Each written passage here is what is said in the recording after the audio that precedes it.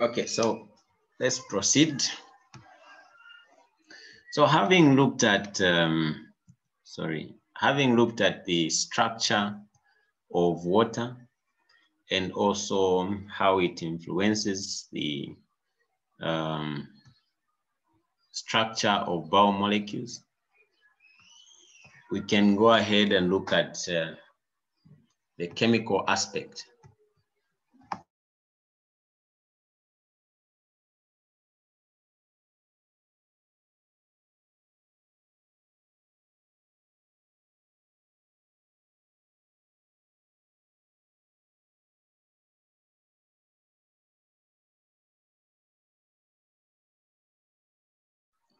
Okay, so we can go ahead and look at the chemical aspect. So the chemical aspect really has to do with the um, auto-ionization of water. So the ability of water to ionize, though it is slightly, um, is of central importance for life. So we're saying water does ionize, but not so much.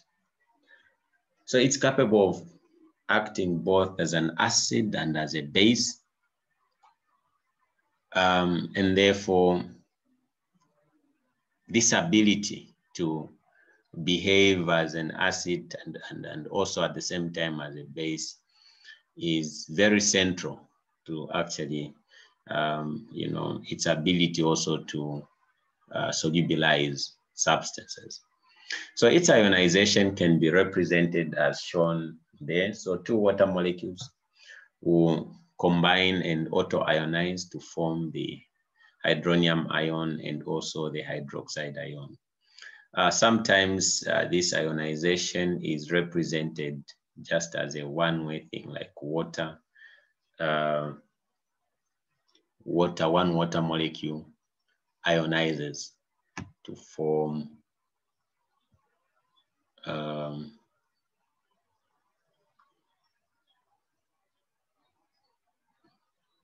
to form the hydrogen ion and the hydroxyl ion. Okay. So someone is saying the audio has a problem. Can you get me? I'm talking alone. Just write me a text on the chat if you can hear me so that I can proceed because I've just seen there's a, there's a message here that someone can't hear me.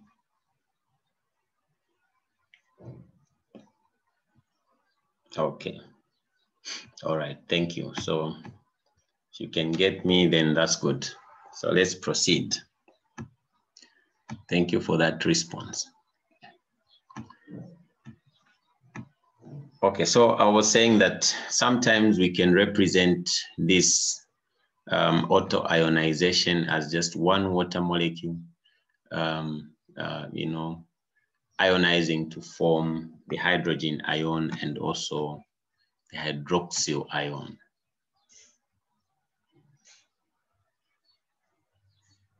Okay, so thank you for those responses. We move on. So uh, from, from our first year chemistry, we did come across um, what we're calling, uh, you know, equilibrium constants. Um, we also dealt with uh, uh solubility constants and uh, all that nonsense, which is very good. I'm sure we can relate to what we have put here. So we can write the equilibrium constant for the auto-ionization of water. And we do know that um, the equilibrium constant is basically the concentration of the products divided by the concentration of the reactants. So here we have the concentration of the uh, products. In this case, uh, the, this should be the hydronium ion and the hydroxyl ion divided by two water molecules. And basically this is at 25 degrees Celsius. So we are saying that at this temperature, about two of every 109 molecules in pure water are ionized at any instant. Now, when you look at two out of uh, 109, uh, it means that, uh, you know, it shows you the, the degree of ionization of this water. It's very, very minimal, okay? So the equilibrium constant can be written like that. Now, in pure water, which is deionized water or distilled water, at 25 degrees Celsius, the concentration of water is 55.5 molar. Now, this is obtained by, you know, a simple uh, calculation from the molecular mass of water and, uh, uh, you know, uh, how many of these water molecules are there. So it's, it's, it's a simple calculation, but you don't really have to know how that is obtained. Um, what is important is that you understand that the concentration of water at 25 degrees Celsius is 55.5 molar.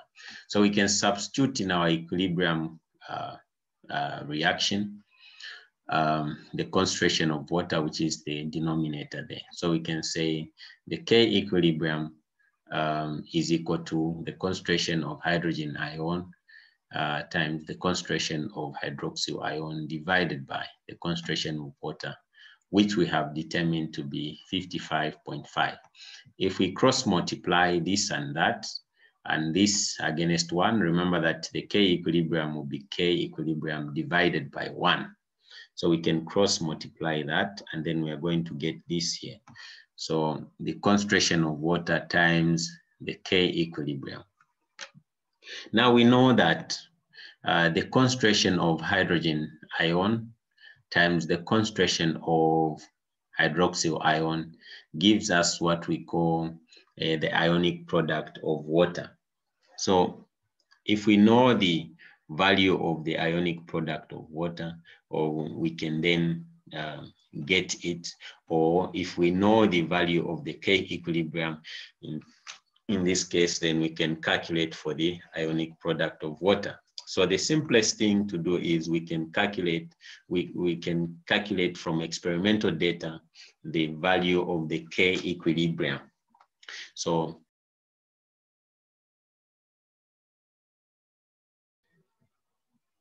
I don't know what happened.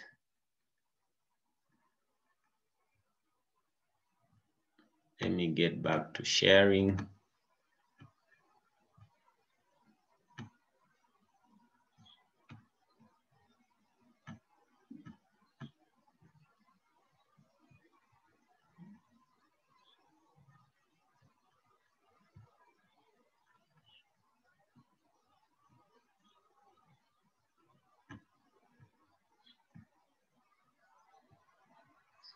So I have no idea what what happened. It's just started loading. I hope I'm I'm audible again. So I was saying that the value of the K equilibrium um, at 25 degrees Celsius is calculated to be 1.8 times 10 to the minus 16 molar. So if we substitute this into the, the equation, remember earlier on, we have this here. So we substitute um, the value of the K equilibrium, which is 1.8 times 10 to the minus 16 uh, molar into the equation. So what we are going to get is a product which is 1.0 times 10 to the minus 14 molar squared. Why molar squared? We have uh, M there and M there for molar. So we have molar squared. So when they are exactly equal concentration of hydrogen um, ion and also hydroxyl ion, as in pure water, the solution is said to be at neutral pH. So at this pH, the concentration of hydrogen ions and hydroxyl ions can be calculated from the ionic product of water. And what you do is basically just to introduce a square root this side and the square root that side. So what you're going to have is uh, the concentration of uh, water, I mean the concentration of hydroxyl ions or the concentration of uh, hydrogen ions can be obtained using that, that, that formula on top there. Now, what this means is that if the concentration of hydrogen ions is equal to hydroxyl ions, then you can um, substitute the hydrogen ions, or rather the hydroxyl ions for hydrogen ions. That's why here we've got the hydrogen ion squared. So the square uh, root of this and the square root of that gives us 1.0 uh, times 10 to the minus 7, or if you like, 10 to the minus 7 molar. So the value of um, um, the hydroxyl ions and also the hydroxyl ions at pH 7 um, is 10 to the minus 7. Now remember that uh, we are saying uh, neutral pH is pH 7. So neutral pH is not zero, it's pH 7. And the concentration of hydroxyl ions and also hydrogen ions at pH 7 is equal to 10 to the minus 7. So that is how the calculation for the hydroxyl ions and also the hydrogen ions was done. Let's come to the concept of pH. What is pH? So we are saying pH is the negative log of the concentration of hydrogen ions. We also have um, what is known as POH. So POH is also the negative log of hydroxyl ion concentration. So um, when you write the square brackets, like the way we have written them here, this means concentration. So if you're writing concentration, you put um, the compound or the radical in square brackets. So a low pH characterizes an acidic solution and a high pH denotes a basic solution. The total hydrogen ion concentration from all sources is experimentally measurable and is expressed as the pH of the solution. So the ionic product of water, Kw, is the basis for the pH scale. Um, um, so point or bullet number two uh, is very important for us to understand. If you have got two substances in, um, in, in, in water, or if you have got a substance that is dissolved in water, assuming that the substance ionizes in water, it is also important to account for the fact that water also is able to ionize. So it is the total hydrogen ion concentration from the water and from that substance that you have to use to calculate the pH. So what then is the significance of pH? Uh, measurement of pH is very important um, in biochemistry, and it's one of the most commonly uh, used procedures.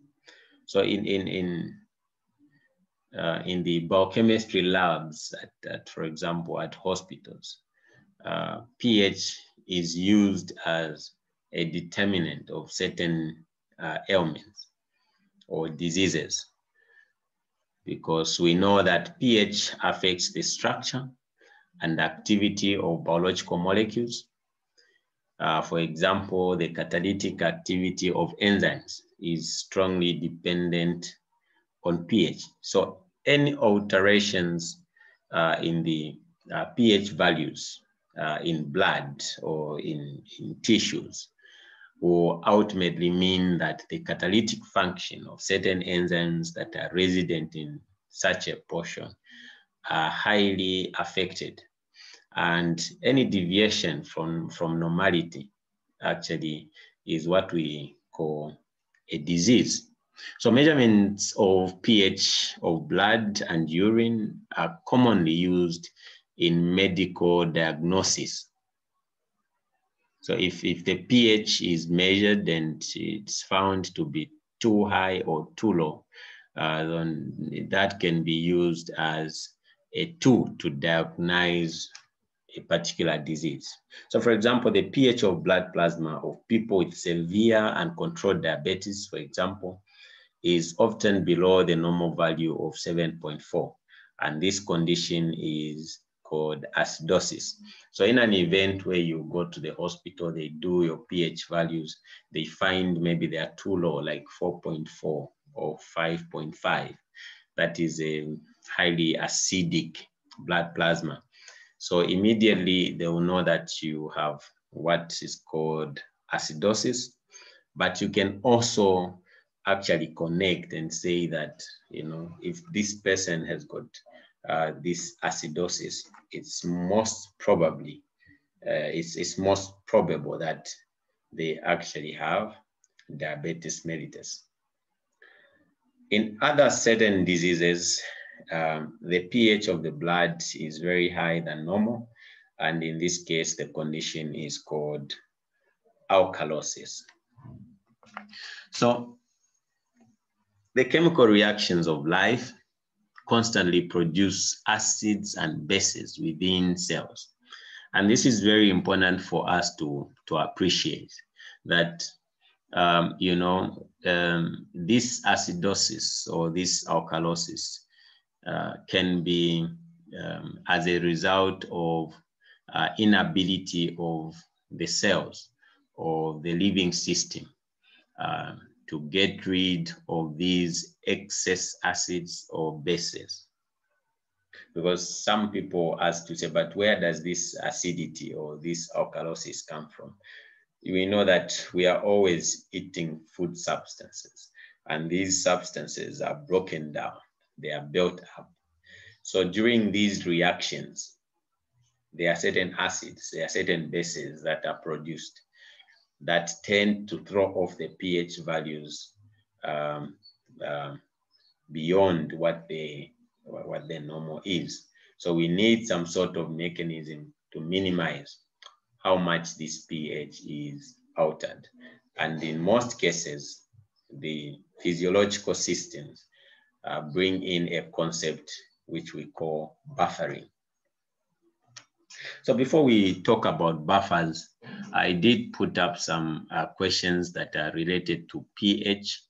Um, uh, because of the fact that I use uh, almost the same notes, uh, you may have gone through, um, for those that have the, the, the notes, you may have gone through and seen how the calculations are done. But if you are given a question like this, what is the concentration of the hydroxyl ion uh, in a solution with the hydrogen ion concentration of 1.3 times 10 to the minus 4 molar? So um, I want to twist this question um, and say what is the concentration um,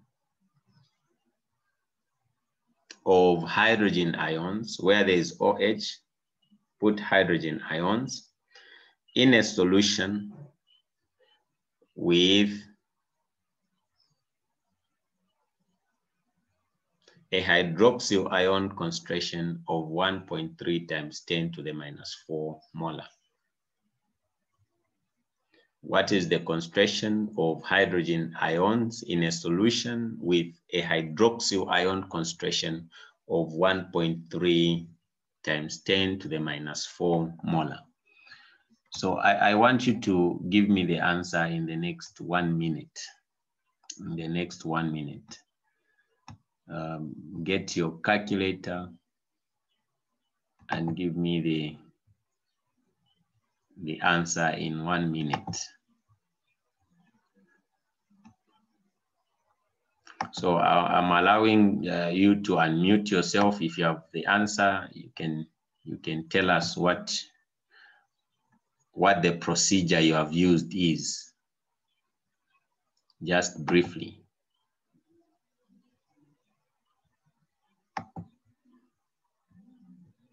Okay. All right, thank you.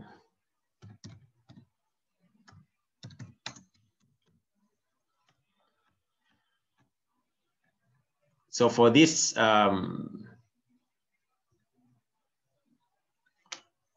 for this question, question number three, um, it's important to understand that um, the hydroxyl ions comes from two sources, potassium hydroxide and also water. Now, since pH is determined by the total hydroxide ion or hydroxyl ions, um, or rather hydrogen ions, it's important to consider both sources. So in this case, we are considering the source of the hydroxyl ion.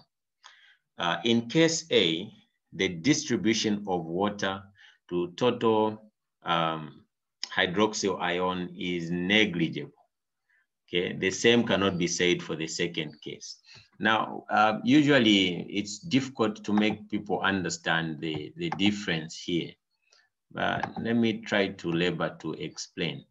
So if you have um, um, zero, uh, let me do the text. So if you have uh, 2.0, uh, 2.0 times 10 to the minus 2. Okay, this is the same as 0 0.02, I guess. Oh, oh Lord, I'm running out of time.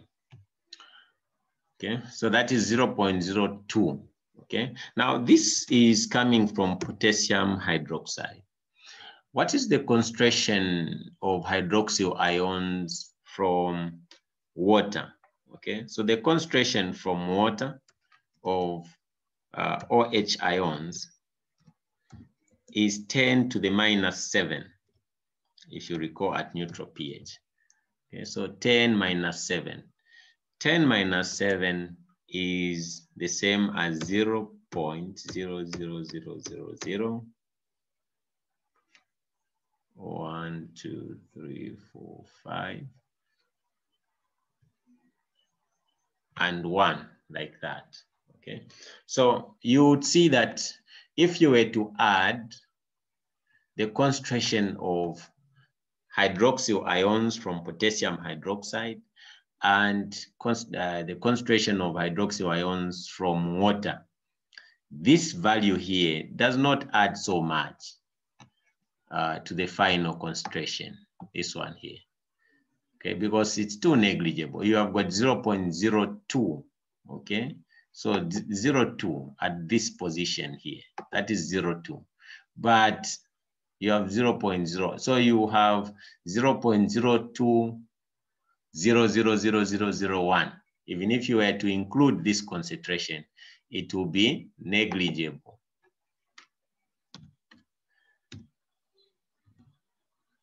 negligible, like that. So that is why in case number one, we do not use it. But check, for the second one, the concentration of potassium hydroxide um, is 2.0 uh, times 10 to the minus 6. Okay.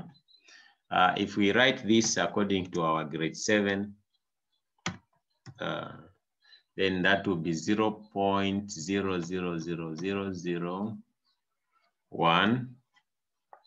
So that is one, two, three, four, five.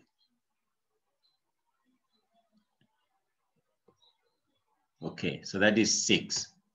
Then the concentration of hydroxyl ions from water is still 10 to the minus seven, 10 to the minus seven. So this will be equal to 0 0.00000. Oh, this is definitely wrong. Okay, so instead of 0 0.01, that is 0 0.00000. One, two, three, four, five, and two. We've got a two there. Then for this one, Jesus. Okay, let me just undo this. So for potassium hydroxide, I said that is 2.0 0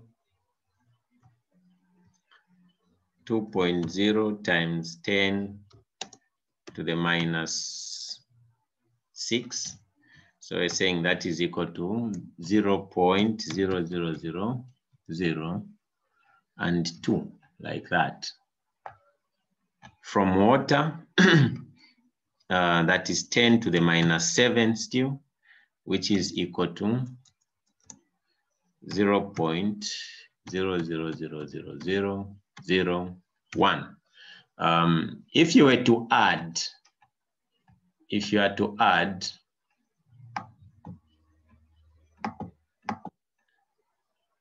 if you are to add this Jesus Christ. So if you are to add this and that, we say plus.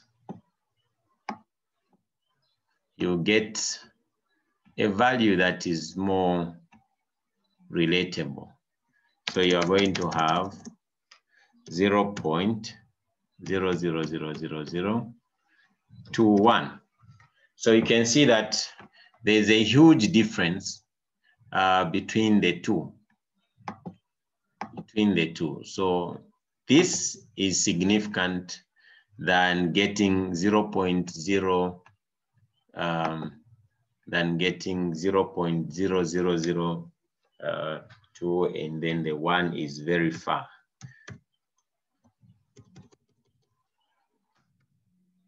Something like that. Okay, so this is very insignificant. This is very significant. So that is why for case number two, we are able to include the concentration of water.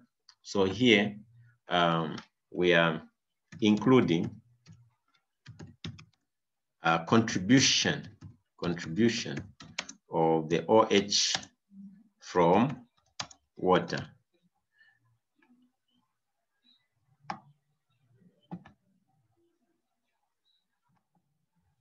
But here,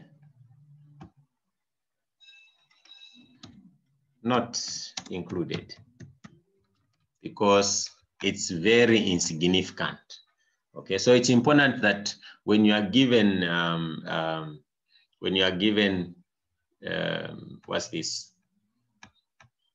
When you are given uh, different concentrations, you have to consider the contribution of uh, either the OH or the hydroxyl ions uh, also from, from water.